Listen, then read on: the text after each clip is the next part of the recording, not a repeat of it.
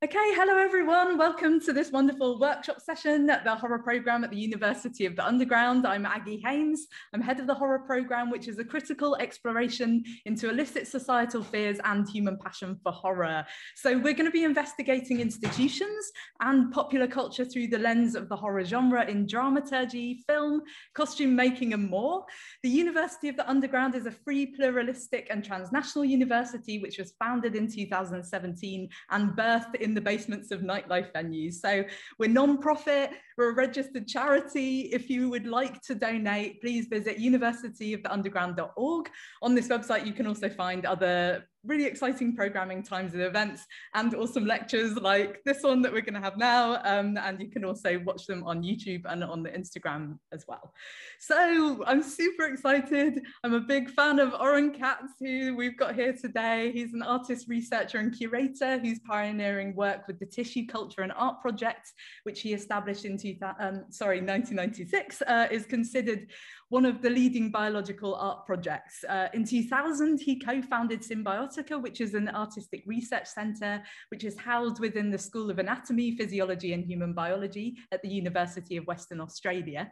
So under Catts's leadership, uh, SymbioticA has gone to win the Prix Ars Electronica Golden Nica in hybrid art in 2007, uh, the WA Premier Science Award in 2008, and became a Centre for Excellence in, two, in 2008 as well. So in 2009, Catts was recognized by Thames and Hudson's 60 Innovators Shaping Our Creative Future book in the category Beyond Design and by Icon Magazine UK as one of the top 20 designers making the future and transforming the way we work. So uh, uh, has this amazing interest in life, more specifically shaping relations and perceptions of life uh, in light of new knowledge and its applications, often working in collabora collaboration with other artists, particularly Dr. Ionat Zurr and scientists.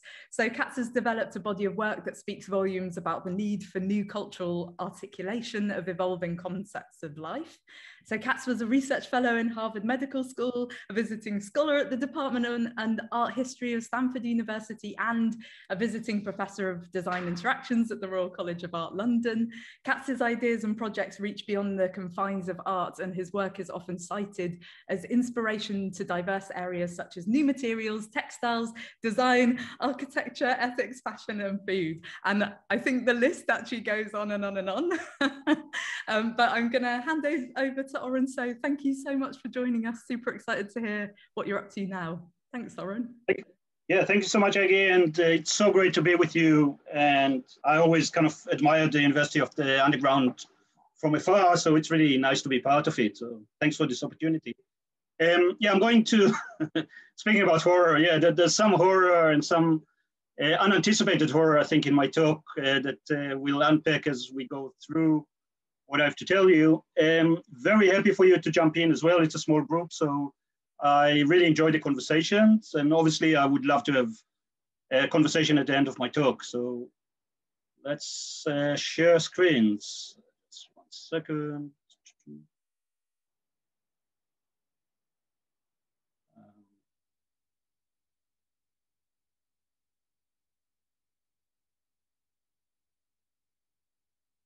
It's always the name. Oh. Is that coming up? Can you see it?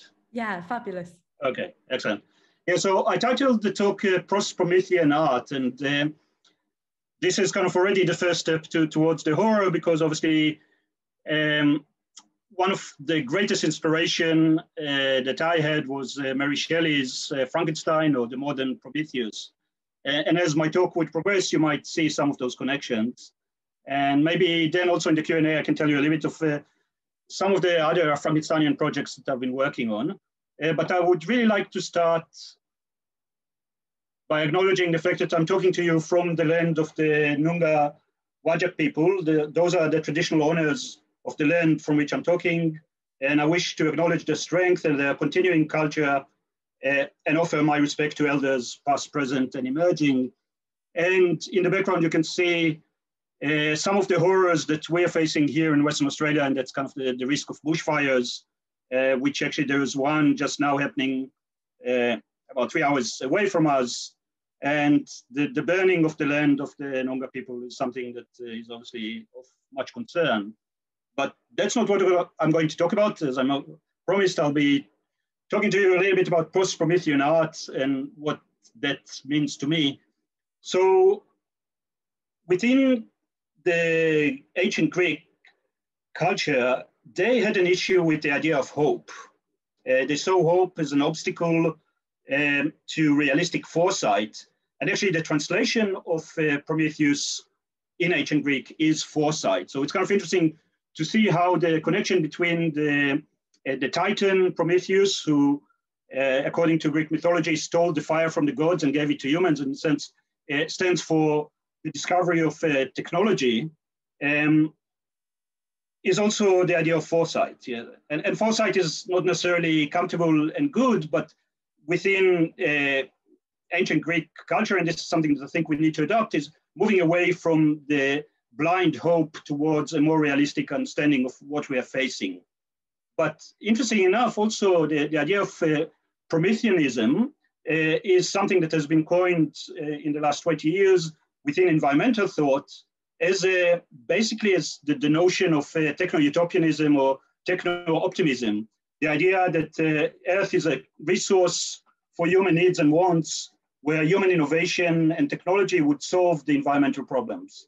Yeah, so uh, the idea of Prometheanism is something that we see a lot, especially in the design world at the moment, this notion of somehow divorcing ourselves from nature uh, in order to be able to come up with a sustainable uh, means of survival. And, and I'll talk more about it uh, as this talk progresses. So the, the framing of Prometheus is, is kind of threefold. There's obviously the reference to uh, Prometheus the Titan and uh, the modern Prometheus of Mary Shelley, the reference to the idea of foresight, but also the idea of uh, Prometheanism that is being hijacked by the techno-utopianism movement. Um, and I would kind of engage with all of them in some way or another. Um, so Ionat and myself have been working for many, many years, as you heard, with uh, the idea of using living tissue as a medium for artistic expression. And throughout our approach uh, or throughout our practice, we, we, we witnessed a lot of uh, what we refer to as neo-lifism. And that's the idea of the fetishization of technological approaches to life. And in many cases, neo-lifism and this idea of fetishization of uh, those technological approaches to life uh, overshadows the context in which life operates. Um, it seems that the biological milieu is transferred, transformed into an abstract technological instrument of control where life is just another raw material to be engineered. And this is really kind of the issues around Prometheanism. Um, decontextualized life has been reconfigured, mixed and remixed, reappropriated and instrumentalized to such an extent that the technologically imagined potential of life often stands for life itself. And, um, and this idea of the technological potential of life is not new. So as early as the late 19th century, beginning of the 20th century, people like uh, Jacques Loeb, this uh, guy over here, um, uh, who worked from Monterey in California, already started to think about the notion of biology transforming into an engineering pursuit rather than a merely analytical discipline, or as he put it, from a descriptive discipline to a prescriptive discipline. Yeah, so, which is really the, the difference between engineering and science, uh, where he was basically saying that we are learning more and more about how biological processes operate, and therefore we already can start to harness those as an, with an engineering mindset in order to engineer life around us for human ends. And again, Prometheanism. And that kind of links to what we refer to as the psychopathologies of control. So we live in a really interesting time. It's basically a perfect storm where, on the one hand, technology becomes more lifelike. So we already are willing to acknowledge the fact that human made technology that was designed from the bottom up is so complex that it's operating almost like a life force by itself. And we already relinquishing our control over technological systems you know, we design systems now to operate outside of human control. So think about, um, you know, all of the algorithms that are driving social interactions. Think about autonomous cars. Think about our economy or any other large-scale hyper object, if you like, like uh, Tim Morton refers to it, that is done by humans, but it's so overwhelming that we already acknowledge the fact that uh, humans have no control over. At the very same time, we're trying to assert our control over systems that operated outside of human influence um, for most of the history of life on Earth, and this is life itself. Yeah, so we through things like synthetic biology and uh, all of the other forms of uh, control of biological systems, we try to figure out ways in which we can control those uh, living things and treat them like instruments for our needs. Now, I would also qualify it, and this is maybe when one of the horrors of our existence uh, uh, should be acknowledged, is that I would argue that any attempt to assert one's control over an autonomous system or a system that operated outside of our influence is by definition an act of violence. Yeah, so any attempt to engineer life is an act of violence, and the discussion should really be more around the degree of violence that we're willing to exercise um, against other systems,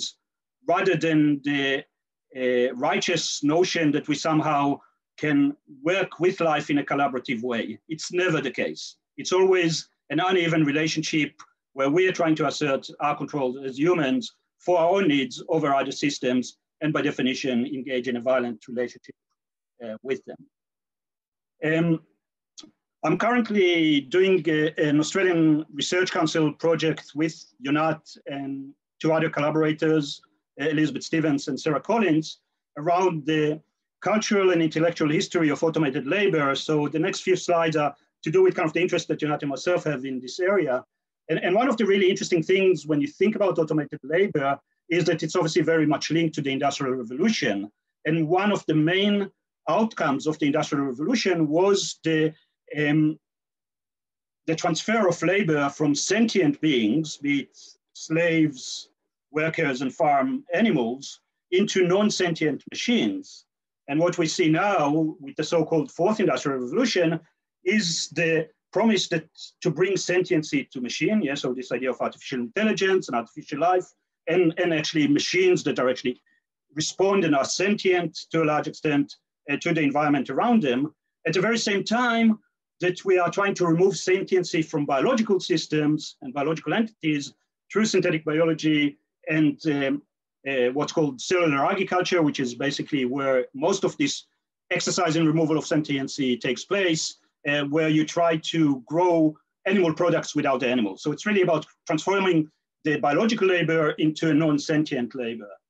Um, and, and that raises a lot of issues. So obviously the same way that the Industrial Revolution really changed the way humans thought about the place in the world, the way humans interacted with each other and with the world around them, we are now facing another transformation, which is not so much to do with the ability of the technology to do things, but it's more of the mindset that drives us to do it. And, and that would lead us to reassess our relationship to things like the human and non-human, um, the idea of sentiency itself, what is life, what is labor, and what levels of explo exploitations um, would result from this newfound relationship with biological labor.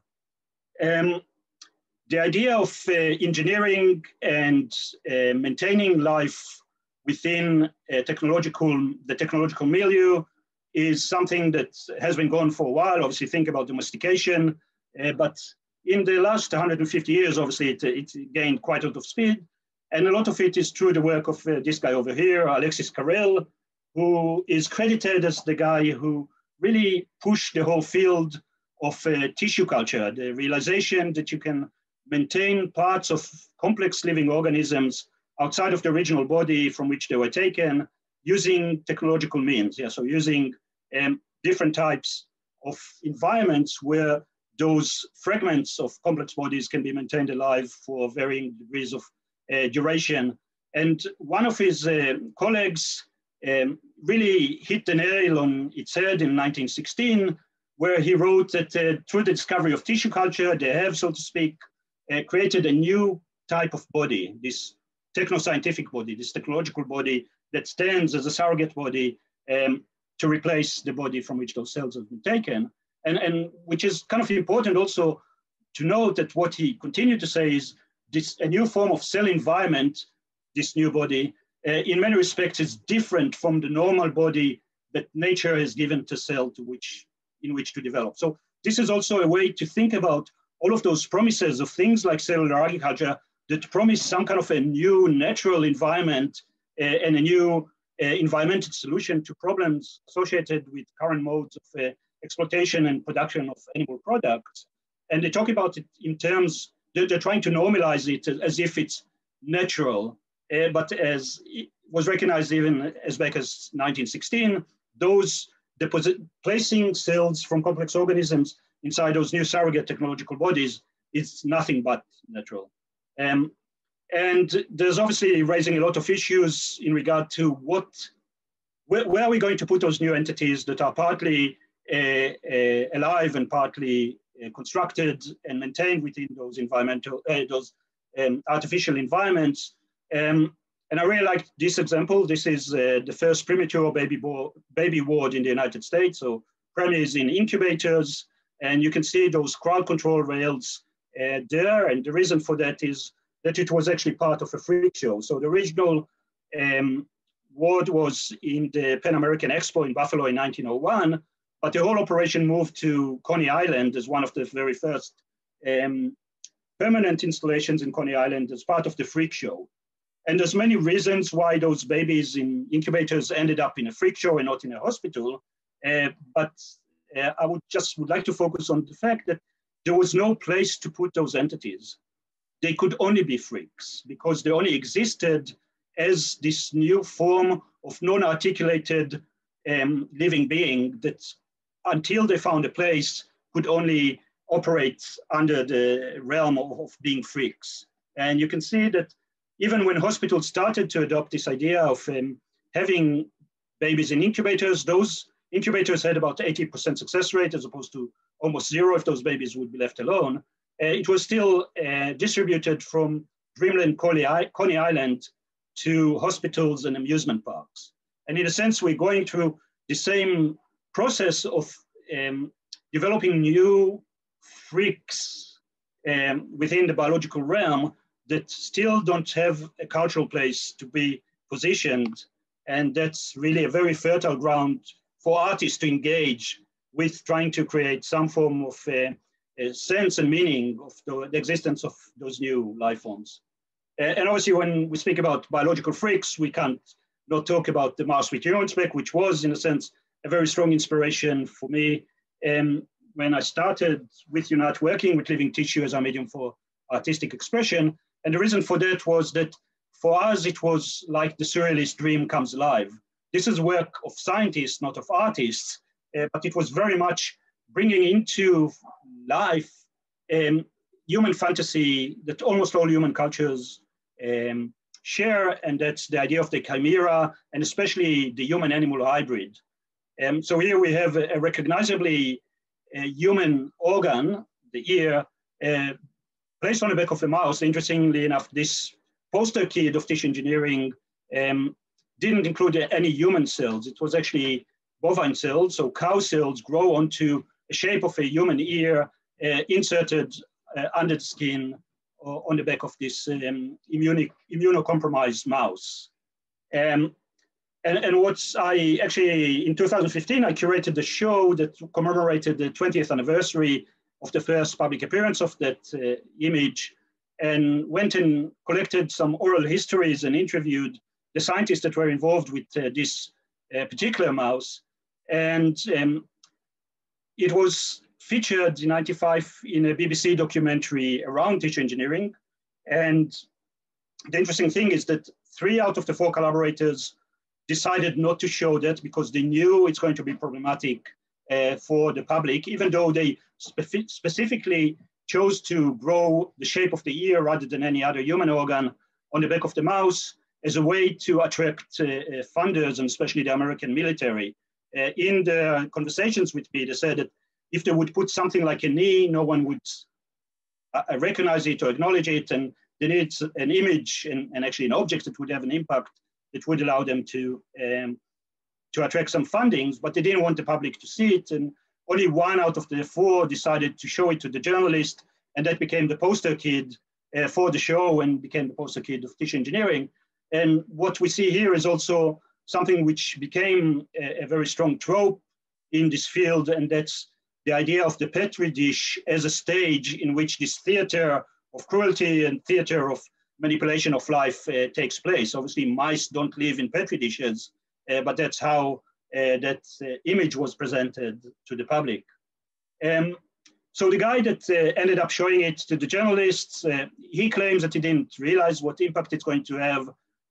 he basically said, ah, yeah, you know, there was an overseas film crew of some TV channel called the BBC. I never heard about them before, so I wasn't really concerned. But obviously, once it hit the media, uh, it became a circus.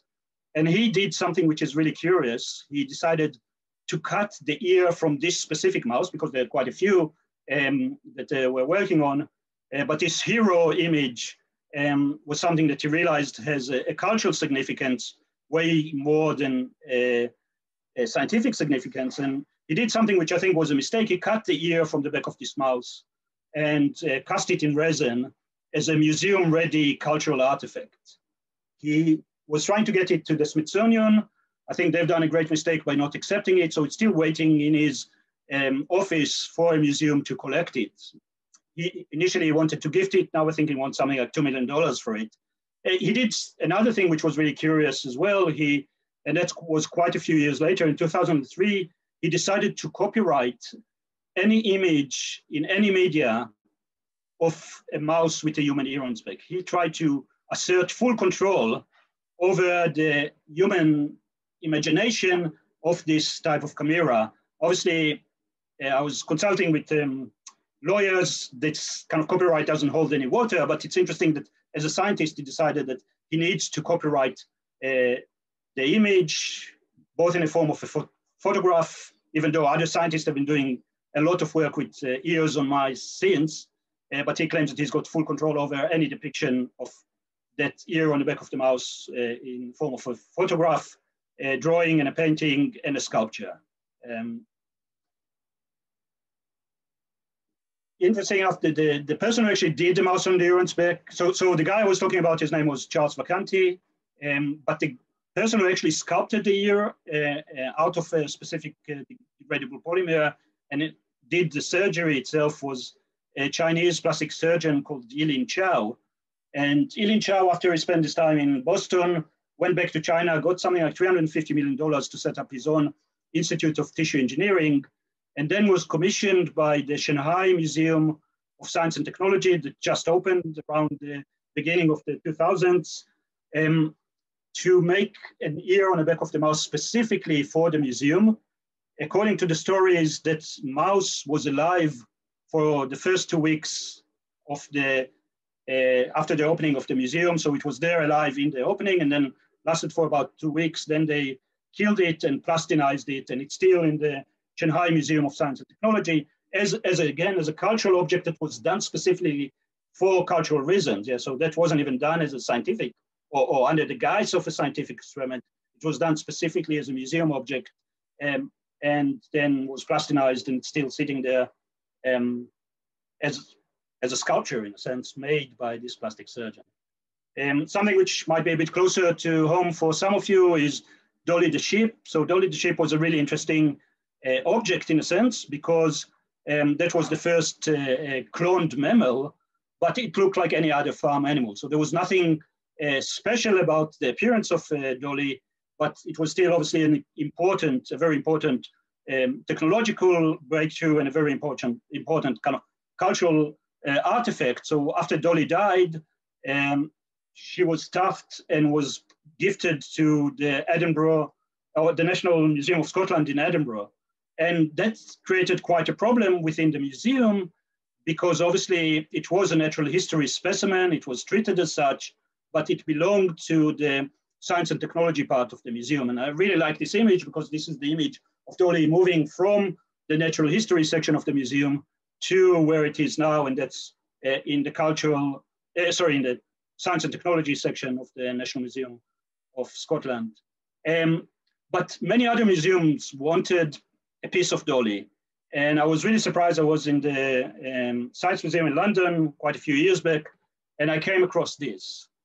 Um, it was actually the Wellcome Trust decided to collect some of Dolly's droppings. Yeah, so speaking about the fetishization of uh, uh, the culture, uh, the technological approaches to life. This is kind of the ultimate.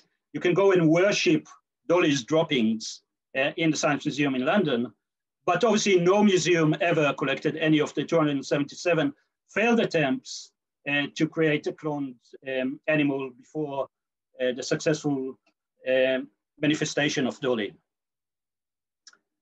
So that's kind of a bit of background.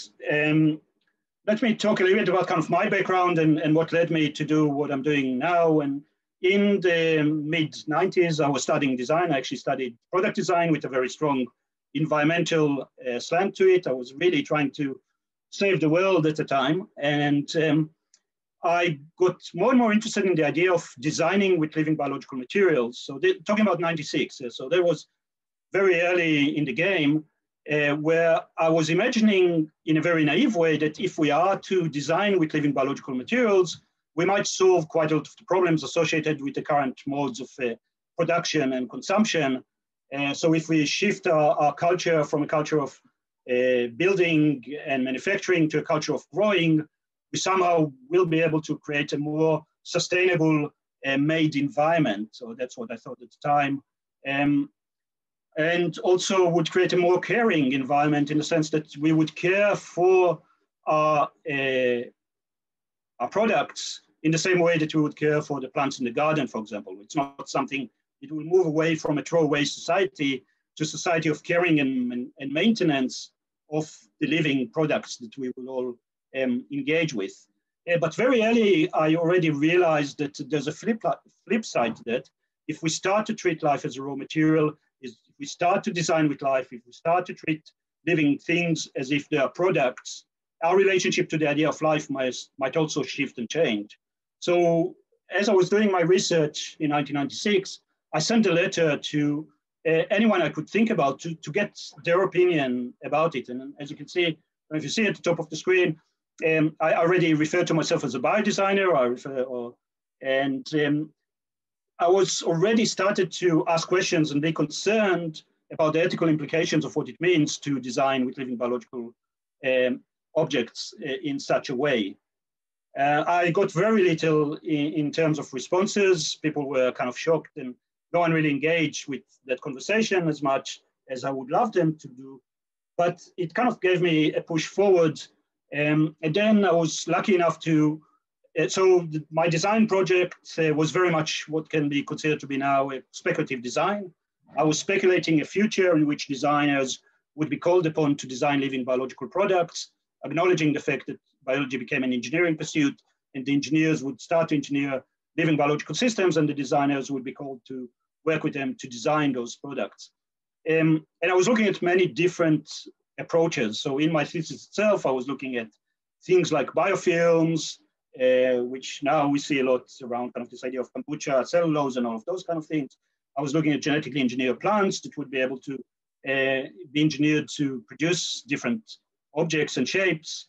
Uh, but the technology that really caught me, and that was a lot to do with the fact that the mouse with the Euro spec appeared, is uh, the technology of tissue engineering, because that generated for me one of the largest kind of conceptual shifts that I felt we are going through in the 90s and that's the shift towards the notion of the body as its own technology. So this slide over here is from a, a presentation that one of the pioneers in tissue engineering, Joseph Vacanti, the brother of the guy that uh, was presenting the mouse with Neuron spec, uh, presented in the third International Tissue Engineering meeting, funny enough, in, in Disney World in Orlando, um, where he was very proud to show how in short 10 years, the idea of the body and repairing the body really changed and shifted due to this idea of tissue engineering and regenerative medicine. So uh, the blue image on your left, you can see, is from uh, Life magazine from 1989. And what you see there is how they imagined the body would be repaired uh, using the dry, hard, mechanical electrical engineering devices to bit by bit replace foily, failing or missing body parts. Yeah, so what, can be uh, thought about in terms of the, Tiedemann solution. Um, and the other image on your right is from exactly 10 years later, and that's this idea of uh, basically, as I said, treating the body as its own technology of repair, uh, somehow figuring out ways to harness those latent regenerative uh, abilities of the body in order to grow the body's spare parts using the biology of the body itself. Yeah, and, and this is really what tissue engineering is all about. Um, in the 90s, the promise was, and this is also quite interesting to watch the 1995 documentary, um, where they basically, and as I'm sure many of you are aware, there's always the 10 years horizon where it's going to hit the market. Yeah. So 1995, they were promising in, in 10 years time, we'll have organs waiting for us on shelves uh, for us to uh, replace our failing or missing uh, organs. Uh, one of the propositions was that uh, we'd be able to um, grow a heart in the lab. So in 1995, scientists gave themselves a deadline of 10 years to do so. You know, we are way past that deadline. We're not even close to achieving it, but the mindset was there. Yeah. So the mindset of the body as a technology to repair uh, was already there. So my logic, and together with Ionat, was uh, how about reversing the logic? How about if in the 80s we're told we can replace the heart with a pump, in the 90s we're told we can grow hearts, our question was why not just grow pumps? Yeah. Um, so this idea of uh, using the technology of tissue engineering um, as a way to uh, grow products that are functional in one way or another, but without ever intending to reintroduce them into the body. So what you see here, again, it's a, it's a very old slide from the early days of tissue engineering. The idea then was that you somehow uh, create a three-dimensional scaffold out of uh, degradable polymers that are um, non-toxic and can break down into um, things like water and CO2. Um, you design those scaffolds in the shape of the organ you're trying to replace. Uh, you see them with the cells of the organ you're trying to replace. So as the stem cell research progressed with stem cells that would then uh, differentiate into those cells, uh, you grow them in vitro outside of the body using techniques that were developed by Carrel in the early 19th, uh, 20th century. And you then uh, implant them into the body and you have a new organ. And the idea is obviously use the patient own cells and there's no rejection and, and so forth. This is not as easy. It's still not the case. Uh, there's many, many other obstacles in regard to that. Um, but we were saying, okay, so now we can create what we started to talk about in terms of this semi-living entities. So objects that are partly constructed and partly grown, uh, products that are uh, made out of parts of uh, complex organisms, but Uh, are still functioning, but existing outside of the body from which those original cells have been taken. And within kind of the non-medical application areas, we already started to list kind of where it might go. So we are looking at the idea of using tissue engineering as research models, as sensors, as actuators, food and leather, which is what we see now with cellular agriculture, and art. And we decided to continue our investigation as an art project because we became so much more interested in the questions that this proposition raises rather than the potential solutions that uh, might come out of this. Um, and decided to continue our research problematizing it rather than uh, becoming solutionist because we noticed the immense issues that just thinking about the potential of, of growing those semi-living uh, might raise. Um, so in 1996, we set up the Tissue Culture and Art Project. We were really lucky that we gained access to labs. So we were able to speak to scientists at the University of Western Australia to be able to learn the techniques of tissue culture and develop our own kind of understanding of tissue engineering. And then in 2000, we were able to go and spend a year in Harvard Medical School, um, working as research fellows in one of the top tissue engineering uh, labs at the time, uh, with some of the pioneers of the field. And then when we came back from Boston, we set up SymbioticA, which became a research lab because one of the things we realized is that many other artists were started to get interested and couldn't figure out how they can gain access to those very strict and, and, and precious resources that we somehow were able to negotiate access to. And we were very lucky to be able to get some funding to build a dedicated space for artistic research into the life sciences. We expanded our interest beyond just tissue engineering and we decided SymbioticA would be an artistic research that deals with questions of life from the molecular to the ecological, but with a strong emphasis on hands-on experiential lab work, because this is the model that we developed with the Tissue Culture and Art Project. We decided from the very beginning not just to look over the scientists' shoulders, not just to trust what the scientists are telling us, but actually experience it ourselves by us working in the lab and developing our own projects uh, with sometimes guidance, guidance and mentorship by scientists, but for us to, to do the work ourselves. And that became the, the ethos and the model of SymbioticA. Uh, and shortly after, we got funding to build our dedicated space. And we also were able to gain our own level two biological lab. So it was, as far as we know, the first biological lab that was dedicated for artistic and design research into the life sciences. And we're still running, but as I told Aggie, uh, there's a great potential the university is going to shut us down sometime this year. So, you know, we had a, long, a good run of 22 years, but hopefully we'll be able to run for a bit longer. Uh, so as I said, yeah, we see ourselves as an artistic laboratory dedicated to the artistic research, learning, critique, and hands-on engagement with life sciences. Uh, we try to articulate um, the culture, the new cultural language uh, to the shifting relations and perceptions of life using art. Um, all right, I'll, because I realized I'm talking too much, I, I, might skip what SymbioticA is doing. You can check what we do on our website, uh, but we run everything from academic programs. and Lindsay is one prime example of uh, our graduates of our Masters of Biological Arts. Uh, we run exhibitions, uh, conferences, symposium, symposia, and um, we, the main thing we do is really running our residency program where we invite artists and researchers that don't usually have access to the lab um, to spend a minimum of three months um, engaging in a very hands-on experiential um, process of learning more about life and ways of manipulating it. All right, so skip that, workshops, different areas. Uh, I want to talk a little bit about some of the pseudo-utilitarian projects uh, that Yonatan and myself have been running uh, because it's becoming really relevant now. So one of the very first projects that we've done when we arrived to the tissue engineering lab in Harvard was to grow a piece of meat. Um, when you think about uh, exploring the relationship to the idea of life, meat and food comes very uh, close uh, because one cannot have a more intimate relationship with another life form than incorporating it into one's own body. Yeah, so eating another living being is what we do on a daily basis, but it's the most intimate relationship that we can have with another life form. And so uh, it made sense for us, not so much because we're trying to feed the world or reduce animal suffering or reduce environmental impact of uh, uh, meat production. It was really, the, the main motivation was really about the idea of exploring our relationship to life and what it means to consume meat that never existed in a body that drove us to grow our first piece of meat. And here you can see it.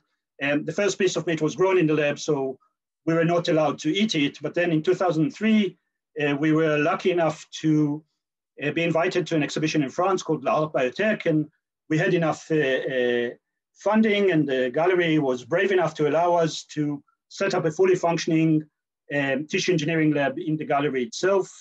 And we were able to use it in order to grow a small piece of meat that we then consumed at the very last day of the exhibition. Now, because the exhibition was in France, we also played on the idea of what constitutes foul food. We knew that uh, French people don't like the idea of engineered food very much, and we knew that most other cultures don't like the idea of eating frogs very much. So we decided to tissue engineer uh, frog meat. Uh, so here you can see the design of the lab that had a direct relationship to both the architecture of the space, uh, of the gallery, as well as reference to Alexis Carrel's original tissue, engineer, tissue culture lab in the Rockefeller Institute in New York. Uh, but uh, you can also see that we had a dining room as part of the lab and a fish tank that had um, the frogs that we rescued from the edible frog distributor in town. And this video kind of is, uh, I'm not going to show the whole of it, but as far as we know, um, this is at least the first documented uh, instance where someone put into the mouth a piece of meat that was grown in the lab rather than in the body of the animal. We were able to grow about five grams of that meat. We shared it among six people in this ultimate nouveau cuisine dinner at the last day of the exhibition. And shortly see Joe Davis uh, trying to cut the meat and putting, him, putting it in his mouth. Now, as you can see, I found it really hard to eat, uh, to cut. The, the problem was that uh, the growth period was limited by the uh, duration of the exhibition itself. So the polymer structure on which those cells were growing didn't degrade completely, so it had somewhat of a, a fabric of felt-like uh, texture. And you can see I'm trying to chew it. And the muscle cells that we were growing, uh, we didn't exercise them, so the uh, somewhat of a consistency of uh, jello. So it was basically like trying to eat uh, jello on fabric. The sauce was really good. I instructed the chef to to cook the meat in a garlic and honey sauce, which are well-known antibacterial agents as of dealing with potential contamination. Um, and to our delight, three out of the six people that joined us for that uh, dinner couldn't swallow it, so they spat it out, uh, which meant that we could then uh, be, collect those bits that were spat out by the participants and show the, those bits in the follow-up exhibition, the remains of disembodied cuisine, which had this like three-screen video um, installation, as well as the bits that were spat out. Um, then in 2012, a Dutch scientist had a press conference in Toronto where he said, I'm going to be the first person to grow burger, uh, lab-grown burger, and I'm going to get a chef to cook it for me, and I'm going to uh, present it to celebrities. And I was lucky enough to be invited to the Dutch Electronic Arts Festival in Rotterdam that year, and they invited me to run an evening uh, where I had a budget to, to basically run an event. And I decided to run a cooking show or a cook-off uh, where I invited that scientist to cook against a philosopher to discuss the future of lab-grown meat and uh, the future of protein consumption. So that was before he unveiled his burger. And the secret ingredient in this cook-off was fetal calf serum, which is one of the ingredients that you use when you grow cells in the lab. Now, some of the companies that are growing meat and the lab claiming that they found something else, but at the time, that was the standard. There was no real way around it. So this um, blood from an unborn, or the blood plasma from an unborn cow, is one of the ingredients in growing this so-called victimless meat. Yeah, so it's not that victimless in any way or form, and that was part of the thing that we were trying to highlight with our series of our pseudo-utilitarian works, where we were talking about the way in which Western technology is getting better and better in obscuring and hiding the victims of our consumption rather than eliminating them. And we wanted to highlight that through this cooking show. We, to the credit of the scientist Mark Post, he was game. So here he is on You're Right.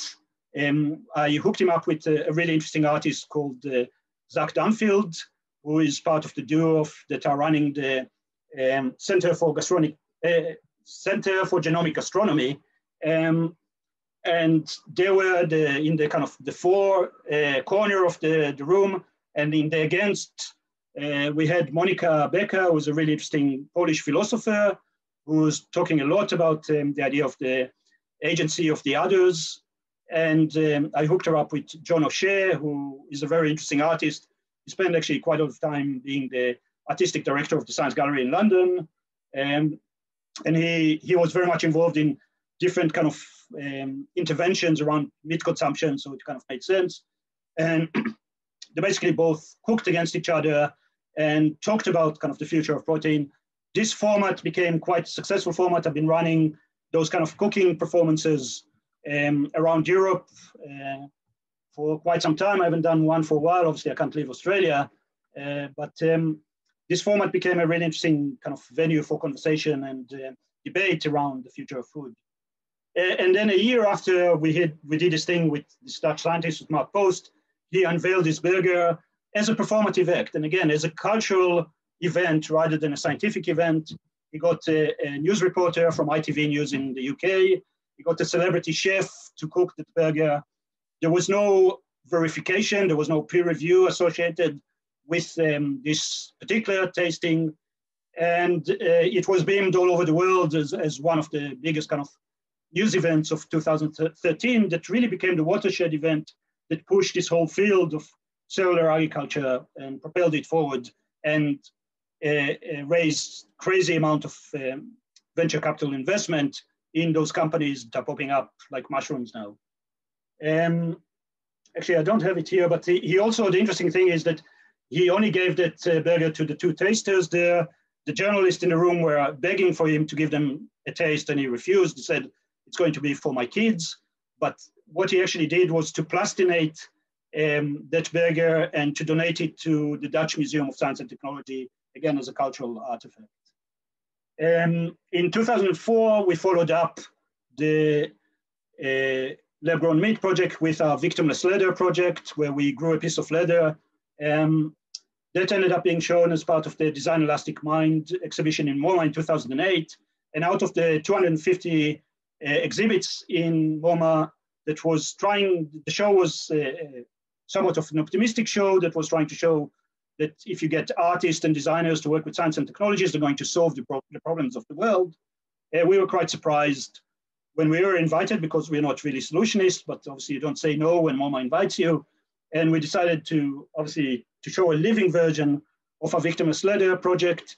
And a few weeks into the show, um, the cells that we are using sheared off the polymer structure, clogged the system, a sleeve of the jacket. So we grew those tiny jackets uh, using mouse cells. Uh, the sleeve of the jacket fell off and we made a decision together with Paola Antonelli to turn the life support off.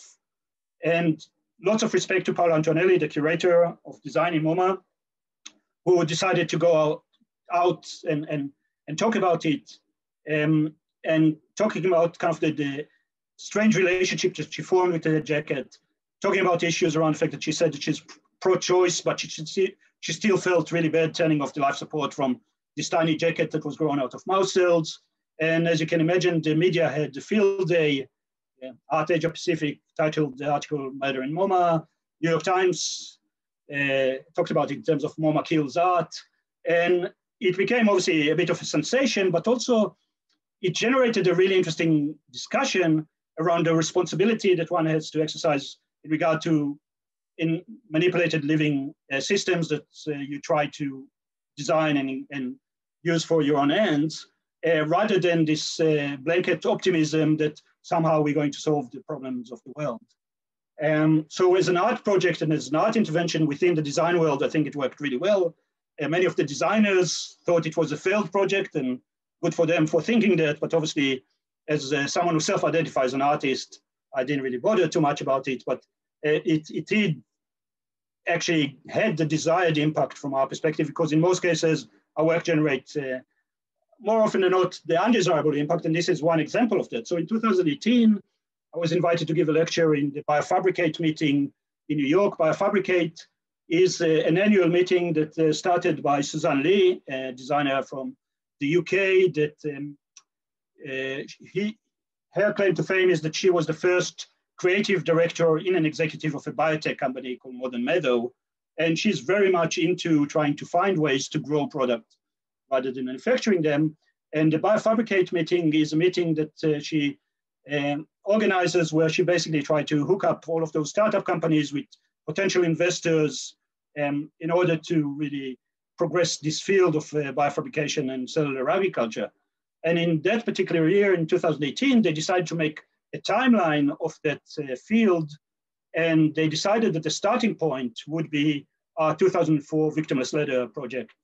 And so, so this put me in somewhat of an existential crisis because here's an example of, you know, I, I was humbled by the fact that uh, someone thought that um, somehow our work generated such impact that it can be considered to be uh, the trigger for a birth of a new field. But then on the other end, they totally didn't get it. Um, because it, it, like in many cases, this is a case where a cautionary tale becomes an instructional manual for the neoliberal uh, innovation paradigm and which is very much the case with the victimless leather here. Um, and I'll, I'll, just, I understand, yeah, we're actually running out of time. So I, I might stop here. This is uh, Isha Datar. She's the CEO of a nonprofit company that promotes um, this whole field of cellular agriculture. She actually claims that she coined the term cellular agriculture. And she recently gave a TED talk where I was able to capture this really beautiful moment where she talks about uh, the point that I made at the beginning that the aim of um, cellular agriculture is about removing sentiency because that's considered to be some kind of a, of a surplus, wasteful thing like the pigs and the feather that we don't need to grow in order to grow a chicken breast. Yeah, so why do we need, you know, things like beaks, feathers, and sentiency when we want to consume only the meat of those organisms. So I'll leave it here. I have so many more slides that uh, I might leave my presentation on. So when you ask me questions, I might be able to address it as, uh, as the issues come along. So thank you so much for your attention and let's have a chat. Thank you. Fabulous, Oron, thank you so much. Um, I, like usual, have a large number of questions, but I'm, I'm sure the students have many as well. So it, has anyone got any questions for Oron?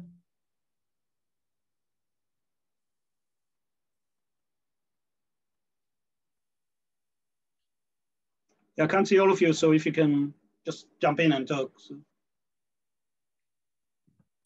Um, I, I, have a question. Uh, thank you. This was incredibly interesting. Uh, since we, like with this final slide, we got back to the matter of sentiency. So I'm like, um, but then with Paola Antonelli and the code, it was not really about that. I felt it was more like about growth and uh, this like image of life as like something that is building upon itself. So there's not sentiency involved, but there's, so I was wondering if you could expand a little on that. Like, what do you think that prompted the reaction that much in that case? Because um, like if we just focus on sentiency, so maybe there's like a whole level of beings that are not involved in the into the discourse so i'm, I'm, I'm wondering how where you put the limit and how what's uh, the investigation there yeah it's a great question and, and it raises so many kind of opens up so many things so first of all i think that uh, and this is something that uh, Yonatan and myself are always trying to address in our work and that's examples of the acute poverty of our language and it, and it seems to be across all cultures when it comes to dealing with life. Yeah. So, you know, the, the story goes that the Inuits have like 70 words to deal with snow. In the English language, there's more than 50 words to describe shit. But we have only one word to describe life in all of its manifestations. Yeah. So, so without having the right language to, to deal with the nuance um, and, and the complexity of life, we are basically trying to deal with something that we are currently in the midst of, of, of manipulating this vast thing that we call life in all of its manifestations using a very, very blunt instrument of a very poor language. Yeah. So, so when sometimes when you talk about life, it can be interchangeable with sentiency. Sometimes, as you pointed out, it's not. Um, we really need to find a new way to articulate our relationship to this huge thing, this meta or this hyper object that we refer to as life. Um, and, and we really don't have any tools to do it. So what we do as artists, and this is kind of I feel the role of artists, is, is to point out um, at areas that we feel needs more cultural scrutiny and needs to develop more meaning and, and, and articulation through language which can be both verbal and visual. Uh, and so in a sense, I don't really have an answer for you, but I do have an answer in the sense that it's the, there's a really interesting thing around the art world, which on the one hand tries to portray itself as one of the most pro progressive and advanced kind of a epistemology and subculture of human existence. And on the other hand, it's one of the most conservative and the most constrained ways of human expression. Yeah. So there's some things that artists are not allowed to do, and we are facing it on a daily basis. That we are basically being told that because we're engaging with life itself as a, both as a material uh, the subject and the object of our um, artistic interest and manipulation, we're, we're, not artists anymore, yeah, because we, we cross some kind of an, an, imaginary boundary where artists shouldn't have crossed that line. Um, oh, the horror, yeah, of doing so.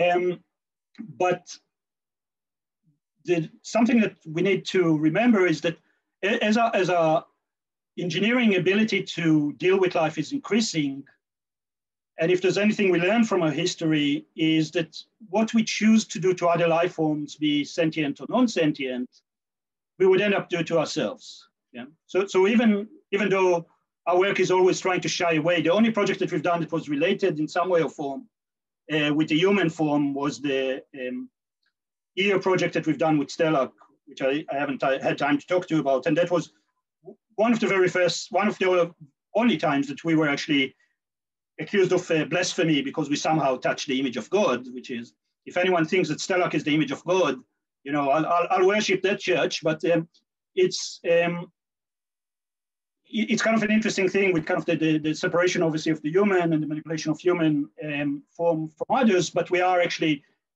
what, what we're doing with other life forms, it's a, a basically a practice run toward what we might be doing to, to ourselves. So, um, there's kind of this acknowledgement of that. So when you think about sentiency, often people would think that uh, is something that's only reserved to human. The more, the more knowledge we generate actually around the life sciences, the more we realize that sentiency is a gradient and a, a continuum, and, and that's actually uh, bacteria also express some form of sentiency, especially uh, if you consider bacteria as being a community of a hyperorganism rather than individual cells. Um, so we need to know more about it. But if we are jumping already to do those irreversible manipulations in, um, engineering of life forms, we'll never have the opportunity to actually stop and think uh, about what we're doing. And this idea of urgency is a really interesting one. And, and again, I think this is where the power of art lies, because we, we can never hide behind utility. As much as people are trying to push us, even in our pseudo-utilitarian projects, we will never, you know, the, the whole idea is about the futility and the non-utilitarian um, aspects of, of what we're trying to do in order to be, to, to be able to um, articulate and distill the epistemological, ontological, and ethical issues that the work generates without ever resorting to hide behind utility, you know, needing to save the world in some way, you know, cure the cancer or feed the world. It's never our intention. And actually, I have a policy of every morning almost coming to the lab and basically telling the people in the lab, this is another day when we're not going to save the world. So, you know, just remember that as artists, our role is to problematize and highlight issues around um, those attempts to save the world because in most cases they are not going they're, they're going to basically result in the opposite. Uh, lindsay did you have a question you've written in the chat? Yeah sorry i wrote it so i wouldn't forget. Um, there's like this tension between care and the violence that's also inherent in the actions that are being performed by both artists and scientists in interacting with all these emerging entities. Um, I was kind of wondering if you could speak more about how you navigate this in your own practice and also in your yours and Ionat's practice as well. Yeah, so first of all, I think one needs to acknowledge it. Um, that, and this is something that many Many of the scientists, many of the technologies, many of the designers that are working in this field are not even willing to contemplate the fact that they're engaging in a, in a violent act. So by, by doing so, you first of all try to minimize the violence, but also acknowledge the fact that our existence is littered with corpses in a sense. Yeah, for us to exist, there's different um, degrees of violence that we constantly have to exercise. But also, if if any one of you has kids, you know that the relationship with the kid and the caring for the kid and raising a kid is also to a large extent, you know, with all of the love that you have to, to your kid, there's also some violence involved in that, you know, and it doesn't necessarily have to be uh, physical, but it is about asserting your control over their wills in order for them even to, to grow and, and, you know, not cross the road in front of a car or, or whatever. So there is this acknowledgement that you need and, and by that you, you, you, in a sense, kind of take the sting out of this kind of self-righteousness that many of the people who are working in the field are currently suffering with uh, in order to do so.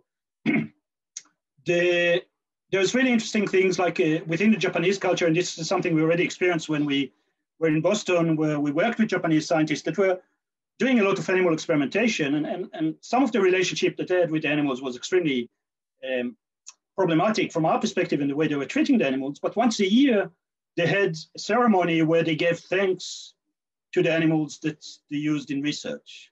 And now it's expanded. Actually, my colleague uh, Hideo Iwasaki, a really interesting Japanese scientist, uh, built a shrine for synthetic life forms.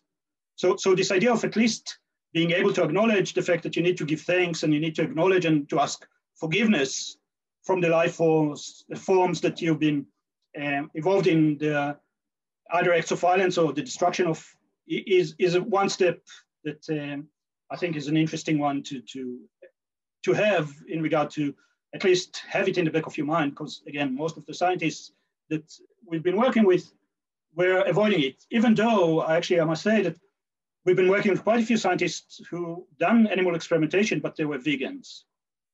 And this idea of somehow paying back in a different way. So basically saying, yeah, you know, we sacrifice those animals for uh, human advancement of knowledge or for to find kind of um, different uh, therapies. Uh, but in our personal life, we would pay for it in a sense by um, by becoming vegans. And this is kind of a really interesting thing in, in regard to a lot of the conversation around cellular agriculture, because beside kind of the saving uh, the world, um, there's the line that they're constantly talking about, which is so horrifically neoliberal, and that's uh, guilt-free consumption. So this idea of abundance without consequences that is being pushed as, as a way for us to be able to um, feel okay with uh, consum cons consuming the world. Yeah, and, and, again, the guilt without or the abundance without consequences, the consumption without guilt, are, are all kind of masking the real impact of our existence on the world by creating these um, layers and layers and layers of um, uh, technology, which more often than not is really used as, as a way of hiding uh, and obscuring our victims rather than solving any real problem in the world. Could I maybe ask something just to like a, a, a, that might be a follow-on from that? Because obviously we're we're dealing with the topic of horror here, and and what I find really interesting about your work is like it's uh, I, it's obviously extremely connected to horror, but you haven't had to even say that. It's not. it's so it's implied that, and what I'm really interested in is like obviously there's body horror, but there's also like cosmic horror there's doom there's like a, a catastrophe and and um, particularly things like tragic irony in the what you know that and what i'm what i found really interesting often about when you're doing these talks is that you involve the audience are like in on the fact that there's there's gonna be there's like an impending doom about to occur on the basis of what you're doing. And I know that there's not necessarily like an equation to generate that feeling, but is there, I mean, do you sort of, how do you work with that? Is that like iterative? So you talk to the audience and then you think, okay, well, this way of framing the project is more likely to create that sensation? Or, or is that something that you just build a sensibility to?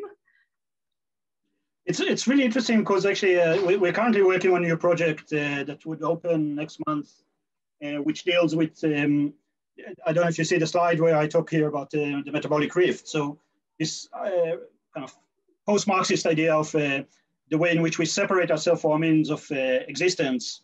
and, and in a sense, again, this is what those startup companies are doing as an ideal. Yeah, this idea of separating ourselves and separating what we grow from nature as, as, a way in the name of sustainability, which is totally ridiculous.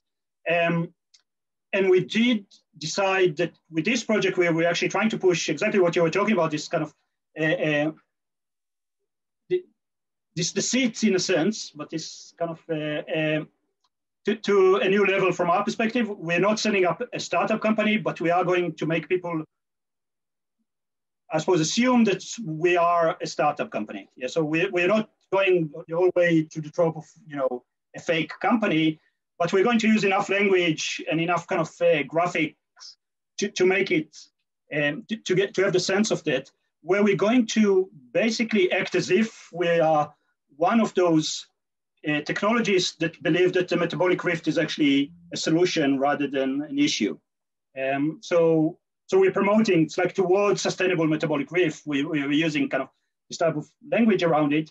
Um, and, and, it is based on, on experience because when I give talks to audience, especially in those startup meets, uh, uh, investor talks where I'm kind of the, the fig leaf of ethical conversation or the will me out as kind of this um, misguided visionary that thought about those things way before the companies were thinking about.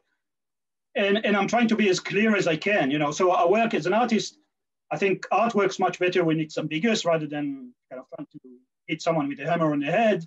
Um, and, and, that's why you know our work is being misunderstood often. But when I give talks, I'm trying to be as clear and non-ambiguous as I can. But still, people come to me in this context and ask to invest in my company. Or I just recently gave a talk uh, in a conference in India, which was kind of uh, DIY biology meets kind of real scientist type of thing.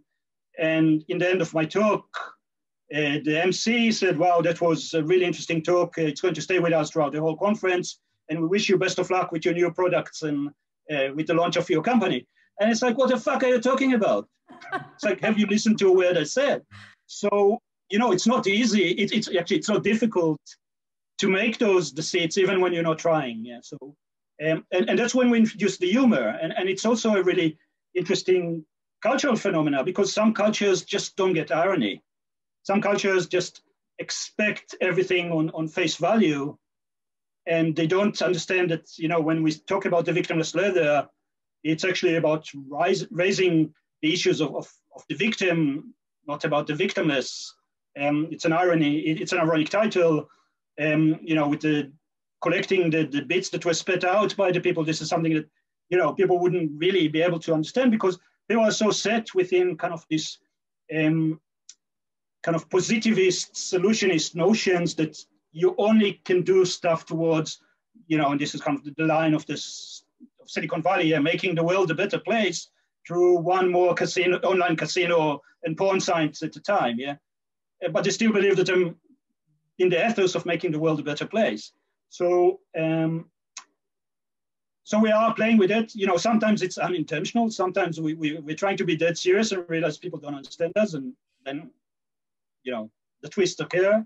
Other times we, we try to really insert the, um, the humor in that. But, you know, but even with our pig wings project, so we did grew wing-shaped objects out of pig tissue as a way of kind of addressing the hyperbole rhetoric around um, uh, biotechnology. And, you know, that was 22 years ago where we've done it. And we wrote a small science fiction story where we talked about a, a farm where pigs are growing wings can later be attached to humans. And we got a request from a Japanese film crew to come and see our farm. And we got, um, you know, th that's when we also started to talk about the aesthetics of disappointment because when we grew our wings, they were tiny. So the wings were, and they were some of the biggest tissue engineered constructs to be grown at the time. So they're about two centimeters uh, wingspan with like about half a centimeter thickness. And people would come to the gallery believing that if they're not going to see fine pigs, they would at least see wings that are big enough for pigs to fly with. And then they would see those tiny objects in those cheap jewelry boxes. And that's when we talk, we started to talk about our work in, in terms of the aesthetics of disappointment. Yeah, so taking people to, even without us wanting, they're going through this journey of expectation uh, only for that to be dashed by uh, what they're experiencing. And, and it is an interesting one because within our field, and you know, this is a very valid artistic strategy, is there's quite a few artists that are claiming that they've done things that are biologically impossible. Yeah.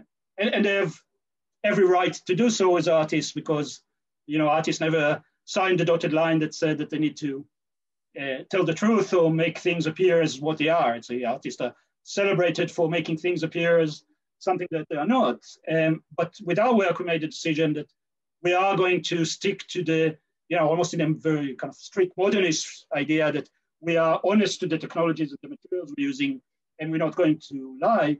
But therefore, the results are, are can be can be sometimes extremely underwhelming, and that's okay with us.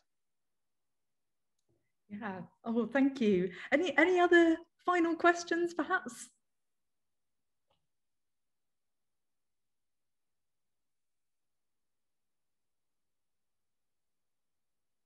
I mean, that there's like so. Oh, go go go! I've done already no, no. one. No, no, go for it. It's uh, it's not really a question. It's uh, yeah, maybe like um, because you're uh, trying to find a bit where it wh which area it's touching, like we saw with uh, Dolly, like it's it's uh, going from the cultural department to the scientific department. And I was wondering if uh, it has to be in a specific area because as you said you're using also strangeness to um, attract uh, like the audience and uh, so yeah it's like um, does it have to find a place or or because if it find a place then it fits in something and fitting in something doesn't like it's not um, it's losing its uh, its strangeness or um, I don't know if I'm clear with what I'm saying, but. no, it's, it's a great point, and, and there's again so many different ways one can approach it. So yeah, obviously within the 20th century there was the idea of uh, art of making strange, yeah, making the everyday look new again by making the making strange, making the everyday strange, or any other thing. So the experience of art was always about kind of putting the audience and putting the viewer in a, a position where where, they, where strangeness is a vehicle for you to see the world in a new way. Um, what's really interesting now is it's actually those startup companies that are making the way the world way stranger than what artists can ever do. You, you know, not just the startup companies. You know, you can think about the, the person who made the world the strangest in the last decade is Donald Trump, who's the best performance artist ever. Yeah. You know, how can you do performance art after Donald Trump? There's no way. You know, he, he, he nailed it. Um, so, so what we can do as artists is much more humble attempts to, to confront people by doing so. But the, the other question about place is, is a really interesting one. And Yonati myself wrote a lot about it recently about this idea of the, the social contract. So if you go into a specific institute, by crossing the threshold of the institute, you have a contract with the institute that what you're going to experience is specific to that place. So if you cross the threshold into an art gallery, you know that what you experience is art regardless of what the object is. And if you go into a science museum, you, uh, you have a different contract. You read the work, even if it's the same work you would read it differently. And this is something we experienced when showing our work. So the victimless leather has been shown in quite a few different contexts. And each time, each institution it was placed in changed the reading of the work completely. Yeah. And it's actually something we're really interested this idea that actually it doesn't have a place because the place is determined by the contract of the institution that chooses to position it and where to position it. You know, um, so we did a piece in 2018, um, actually, where we were trying to address it, and this is this work over here, um, which was to look at um, the kind of queerness of nature. It was actually was generated somewhat by the same-sex marriage debate in Australia, where, like anywhere else in the world, the conservatives were talking about the fact that um, gay relationship is unnatural. So we went to our local natural history museum and we gave the um, zoology curators a challenge of coming up with life forms in their collection that uh, bring into question our ideas or humans' ideas about things like, um, first of all, what it means to have a body. So, what is a body? Um, what is sex? What is gender? What is reproduction? And they come up with amazing ways in which the living world, the natural world, came up with. So there are organisms that figure out ways in which they can use homosexuality as, as a very successful um, reproductive strategies. There's other organisms that don't have a self of identity in a sense because they're made out of fragments that can break and exist uh, independently from each other. Um, there's things like the seahorse over here where the male is actually pregnant. Um, there's, I don't know if you see the beer bottle there. That's a story of a, a beer bottle that was very popular in Australia, and scientists then started to see that uh, there's a specific type of jewel, jewel beetle that is going extinct. And they realized the reason for that is that the male of the jewel bottle became sexually attracted to the bottle, sorry, the, the jewel beetle was became sexually attracted to this beer bottle, and they would just spend their life trying to have sex with the bottle and not with the females. And this uh, beetle almost became extinct until conservationists asked the, uh, the beer companies to stop producing those types of bottles with the same with this finish that somehow became really attractive to those beetles. So, but then we, we went another step where we uh, went to a luxury display, uh, retail display designers, and we asked them to design display cabinets that everything you put in the cabinet would look precious. Yeah. Um, and then we put it in an art gallery. So uh, people came into the art gallery and saw something that looked like a luxury shop. It had natural history museum specimens. And that was a little bit of kind of institutional critique because people were extremely confused. Are, are they seeing art? You know, they entered an art gallery. Is that kind of a, an outpost of the Natural History Museum? But why does it look like a Gucci shop? Yeah. So the idea was to, to work exactly around this confusion. So this is a, a piece with no place because the whole idea is that it's out of place in any situation you put it. And it then traveled to the Cooper Design Museum as part of the Design Triennial.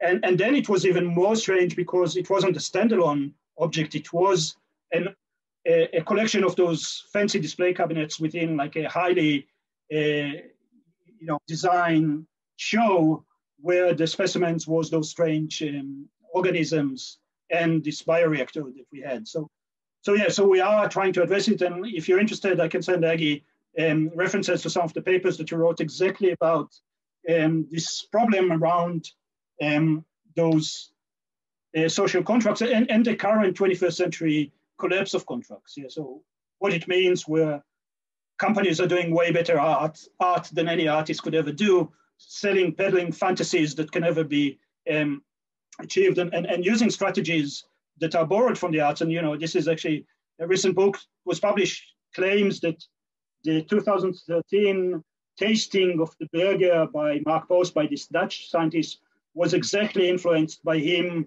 doing this event with me the year before. Yeah. So this is kind of a strange situation where science imitates art and you can actually track it and, and trace it.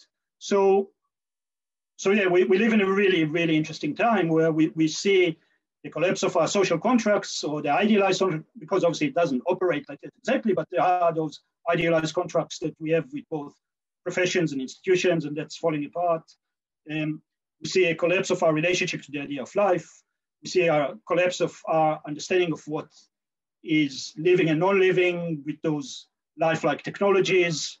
Um, so uh, one of the I suppose, one of our existential, uh, the existential angst that uh, allows for people like Donald Trump and Boris Johnson to become leaders is exactly a, a, cry for help from people realizing that kind of the world order is collapsing around them, and the way the only way they can address it is by you know voting idiots in. But this is a, a symptom of the the crisis we're facing.